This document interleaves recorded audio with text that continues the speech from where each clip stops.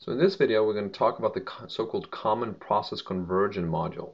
And the reason why that module is needed sometimes is that uh, our separator temperatures and pressures, they're changing many times considerably with time. Um, and I think this well is a good example where um, you see the initial pressure is around, uh, on, uh, the initial separator pressure is around 600 psia before it drops down, typically following the same or similar shapes as uh, your flowing bottom hole pressure while the separator temperature actually tends to change with the season, as we see very clearly here on this picture.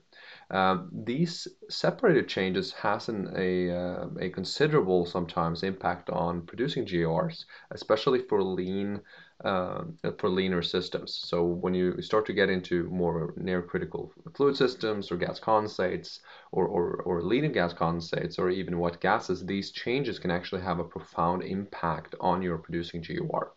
So to normalize out that noise, we uh, uh, from the changing separated uh, conditions, we we um, sometimes would like to to ask ourselves, what would these rates be if um, if uh, we process them through a fixed set of separator pressures and temperatures? And the reason why that is an interesting question to ask is, of course, that the the resulting fluids, so our G, uh, GORs, our stock tank oil, rates and, and sales gas rates, they are dependent on the process. They're path dependent properties.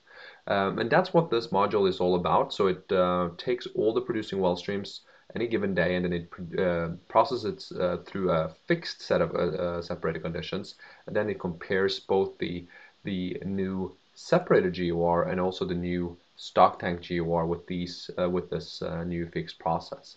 Uh, so just to give an example of that, we can you know zoom in a little bit on this part of the data set, and we can see that for some of the days here, the measured uh, the measured GORs are around 5,600, while the actual uh, ones after being reprocessed through the uh, the common process is is 5,900. And uh, when you have these type of systematic differences over a long period of time, that actually adds up to some significant difference between the common process rates and the rates that you uh, are observing.